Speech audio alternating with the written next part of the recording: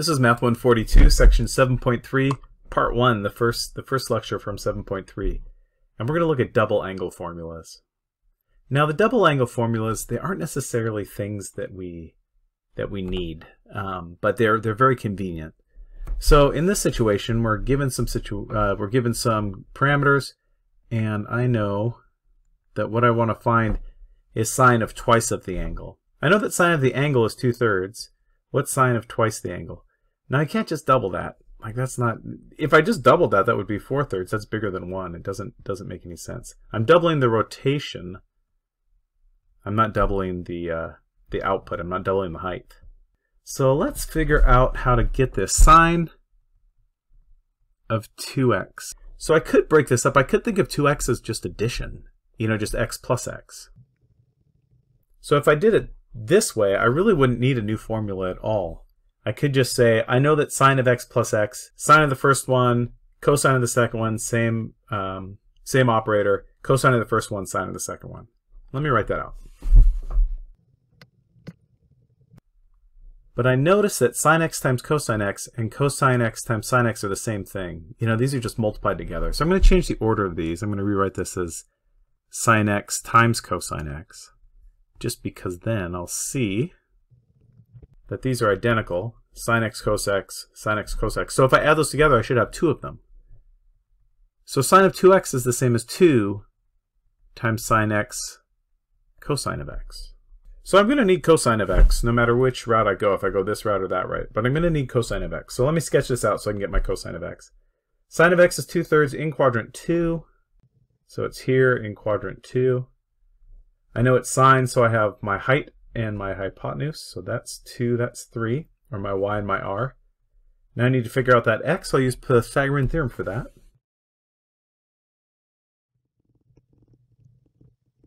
So it looks like the magnitude of that x value is, is square root of 5. I also know it's going to the left, it's going back, it's in quadrant 2, so it's negative. Sine x is 2 thirds in quadrant 2. Cosine x must be negative root 5 over 3. And again, it's negative. The, you know, sketching it out helps me keep track of those um, signs, SIGNs.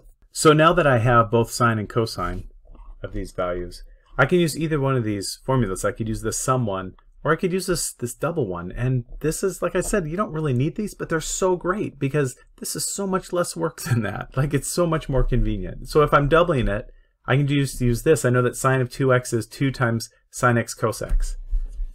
So 2 times sine x 2 thirds times cosine of x negative root 5 thirds. Now when you do this multiplication, you know, think of this 2 as a as a 2 over 1, and you just multiplying the fractions. So 2 times 2 is 4 times negative root 5, negative 4 root 5 over 1 times 3 times 3, which is, ah, which is 9.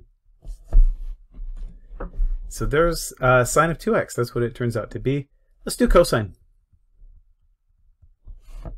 And cosine of, of the double angle of, of 2x is going to be a lot like sine of 2x. We're going to figure it the same way. So cosine of 2x, that's cosine of x plus x. So if I did that, that sum expansion, it's cosine of the first one, cosine of the second one, opposite operator, sine of the first one, sine of the second one. So cosine times cosine is cosine squared. Sine times sine is sine squared.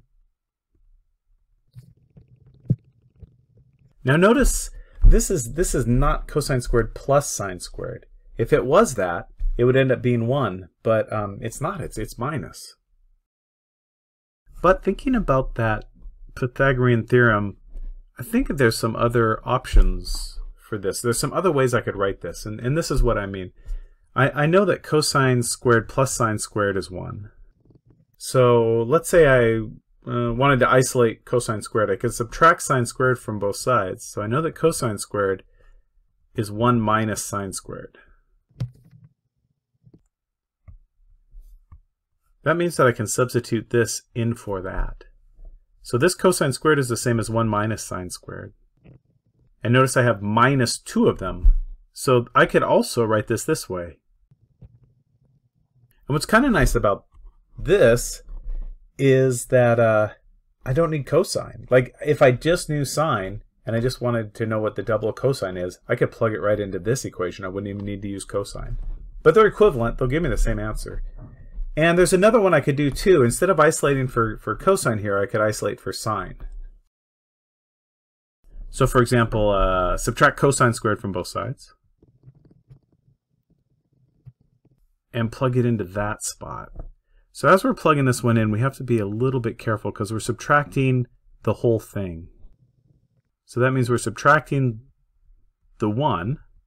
We're also subtracting the negative cosine squared, so it's adding it. And we have two of these cosine squareds minus 1. So what's great about this is to find cosine of 2x, we can use whichever one of these we want. They, they will all be equivalent. They'll all work. And I'm just going to do all three just to show how to use them and, and that they work. So the first one, cosine squared minus sine squared. There's cosine, there's sine. So square them each and subtract. So any negative squared is going to be positive. Root 5 squared is just 5, and 3 squared is 9. Minus 2 squared is 4, 3 squared is 9. 5 ninths minus 4 ninths is 1 ninth. Great. Let me uh, let me do this one. See see how that one's going to work. 1 minus 2 times sine squared of x. 1 minus 2. I know that sine is 2 thirds, so I'm going to square that. 1 minus 2 times 2 squared is 4, 3 squared is 9. When I multiply by this 2, you know, think of it as 2 over 1. So this would be 1 minus 8 over 9, which is 1 ninth as well. And I can do this next one then. Give that one a go. 2 cosine squared x minus 1. So 2 of these squared minus 1. A negative squared is positive. Square that, it's a 5. Square that is a 9. And think of this 2 as 2 over 1. So this would be 10 ninths minus 1. And you know, in dealing with these ones, like I kind of glossed over it here, but I, I just think of that as a 9 ninths. Because it is. um, 10 ninths minus 9 ninths is, is 1 ninth. Each of these right here will give me 1 ninth. They're, they're all equivalent to each other. You can just pick which one is, is best for you. And sometimes you just, you'll pick depending on the circumstances. So in this situation, I got this value for sine and this value for cosine.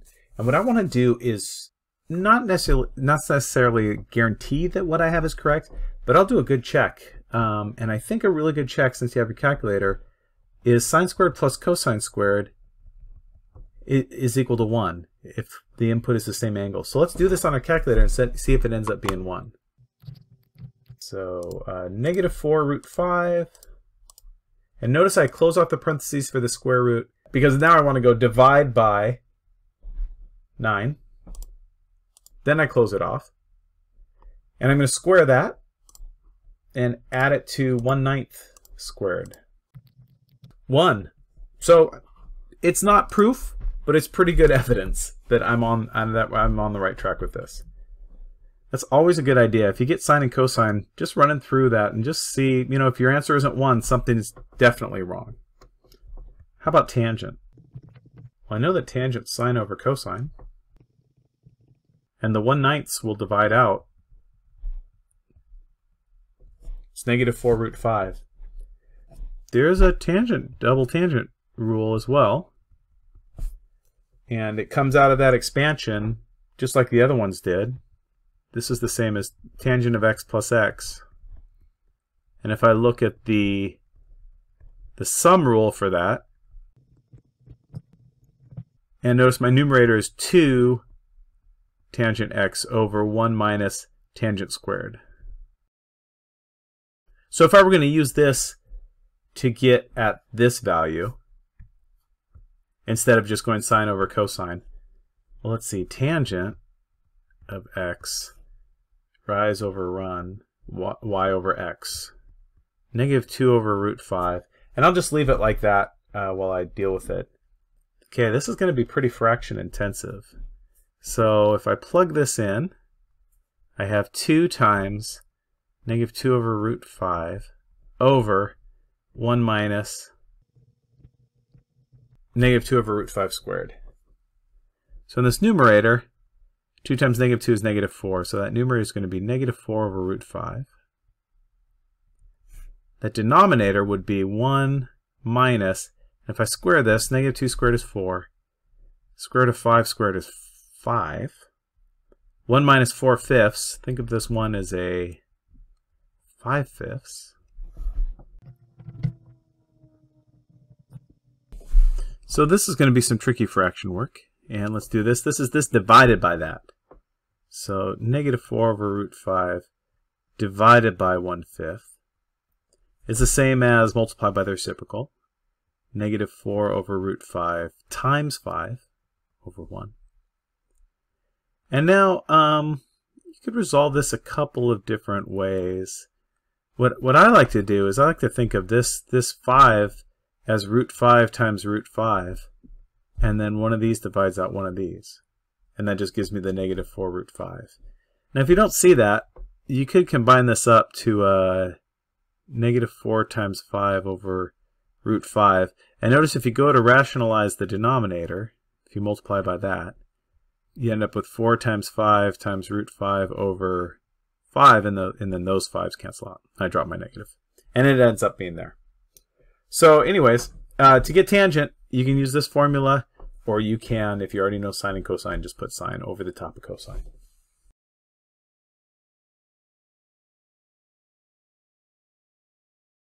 So let's do another example. I know that cosine of some angle is negative 2 sevenths, and it's in quadrant 3. Makes sense, going back. So yeah, that, be, that could be in quadrant 3. And I want to find cosine of 2x, sine of 2x, and tangent of 2x. So if I take this angle and double it, what will my cosine value, what will my sine value, what will my tangent value be? And I'm always looking for exact answers um, on these types of problems. Let's do this cosine first. You know, with the cosine, I can pick any of these that I want to use. I don't even have to draw anything. Look, it's 2 times cosine uh, squared x minus 1. I could choose to use this formula because I just already know just what cosine is. Now you don't have to do that. You could find sine and then use this. I just I just chose to use it, so I will. Cosine is negative 2 sevenths. So if I square negative 2 sevenths, this is a positive 4 and a 49, and it's still minus 1. Um, the 2 is like 2 over 1, so 8 49ths minus 1. And so I'm going to think of this 1 as 49 49ths. So 8 minus 49 is negative 41. So cosine of twice that angle would be negative 41 49ths. To get that sine value, I am going to need both sine and cosine. So I'm going to sketch it out. It's in quadrant 3. And I know that the width is negative 2 and the hypotenuse is 7. x is negative 2. X is negative 2. r is 7. So sine, I can get those sine values by that y value by using Pythagorean theorem. So it looks like y squared is 45. So y would be the square root of 45. And I'm going to clean that 45 up a little bit, rationalize this. 45 is 9 times 5. Those are both being square rooted still. So square root of 9 is 3, and square root of 5 is square root of 5. So this magnitude, the size of this is 3 root 5, and it's going down, so it's, so it's negative. So that tells me what my sine value is. So if I want to get sine of 2x, I'm going to use this relationship right here, 2 times sine times cosine. And sine of the value, just found that. Cosine of it is that. That was given. And now I'm going to do some multiplication here. So a negative times a negative is going to be positive. 2 times 3 times 2 4, that's going to be, give me a 12. 12 root 5. 7 times 7 is 49. Over 49. Great, so let me go from here. I'm going to get my tangent value. And I know that tangent is sine over cosine. Notice the, the 49ths are going to cancel out. It's going to end up being negative, uh, negative 12 root 5 over 41. And I got that by saying uh, sine over cosine. And I know the 49ths are going to cancel out. So negative 12 root 5 over 41. Now if I want to find the tangent value, I could go back to here and say tangent is rise over run, negative over negative is positive, 3 root 5 over 2, and then I could plug it into this formula and get there. Yeah, let's do it. 2 times the tangent over 1 minus the tangent squared. So notice if I multiply this by 2, that cancels out, so that's kind of nice. 3 root 5 over 1 minus. If I square this, let's see, uh, 3 squared is 9, root 5 squared is 5, and 2 squared is 4. So this is going to be 45 fourths. And now if I think of this in terms of force, this is 4 fourths. So 4 fourths minus 45 fourths is negative 41 fourths. I'm going to clean this up a little bit. That divided by that is the same as that times this. Negative 4 times 3 is negative 12. Negative 12 root 5 over 41. I get to the same spot. Hey, let me do a double uh, check on these real quick. Cosine squared plus sine squared is supposed to be 1. So let me let me try that. So my first one was negative 41. I don't really need to put the negative in there, but I'm just doing it for form, or I'm not sure why I'm doing it. Plus, and then I'm going to square the other one that was 12 root 5 divided by 49. I'm going to square that. A equals 1. And again, that's not that's not proof, it's just evidence, but it's it's pretty good evidence. We'll just do one more example. We're given that uh, sine of x is negative 3 fifths, and it's in quadrant 3. And we're asked to find cosine of twice the angle, sine of twice the angle, and tangent of twice the angle. And I'll start with cosine. I'm going to use this formula right here. So cosine would be 1 minus 2 times sine squared. Negative 3 squared is 9, 5 squared is 25. Think of this 2 as 2 over 1. So 1 minus 18 over 25. So if I think of this 1 in terms of 25ths, this would be 25 25ths. And 18, uh, 25 minus 18 is going to give me 7 of them. Now in order to get sine of twice the angle, I'm going to need both sine and cosine. So I'm going to have to sketch this, sketch this one out. And sine and cosine of the original angle. So it's in quadrant 3. Sine is negative 3 fifths, down 3, hypotenuse is 5. And I can get this value right here by using that Pythagorean theorem.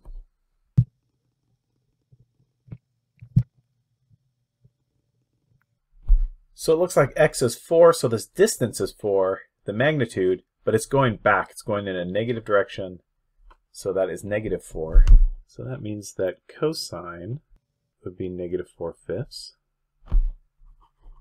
So as I go to find sine of 2x, 2 times sine times cosine, where sine is negative 3 fifths, cosine is negative 4 fifths. I think of this 2 as just 2 over 1. So it's going to be over 25. Uh, 2 times 3 times 4 is 24. So sine of 2x should be 24, uh, 25ths. Sorry about that. Let's give this a double check on the calculator. 7 25ths and 24 25ths. Just make sure that if I square them and add them together, they equal 1.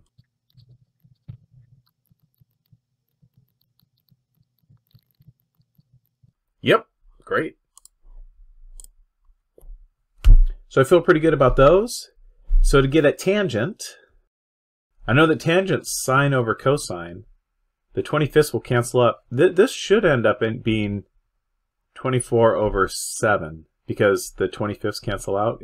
If I write it out, it would be, you know, 24 over 25 divided by 7 over 25. The 25ths divide out. And again, to get tangent, if I wanted to use this rule, you know, if I didn't have sine and cosine, I only had the tangent value. I will need the tangent value. Tangent is rise over run. Negative by negative is positive, so that would be 3 fourths. So this would be 2 times 3 fourths over 1 minus 3 fourths squared. 6 fourths over 1 minus, if I square this, that's 9 sixteenths. And this 1 then I can think of as 16 sixteenths. So there's 6 fourths over 16 minus 9 is 7. You can start to see kind of the pieces start to pop into there. There's my 7 over 16. And now I have a fraction divided by a fraction. So I'm going to think of that as 6 fourths times the reciprocal of that, 16 sevenths. And I can do a little bit of division here. 4 goes into 16 uh, 4 times. 6 times 4 is 24. 24 sevenths. There it is. Whoops. So there's my uh, there's my three values that I was looking for. And notice while you're doing double angle formulas, the formulas are pretty straightforward. Again, uh, like a lot of problems we've done so far, just pay careful attention to your sketch. Get your signs, SIGN values right. Um, and then some fraction work, and you're there. Post questions in the forum, and um, send message them to me if uh, if you'd rather not post them.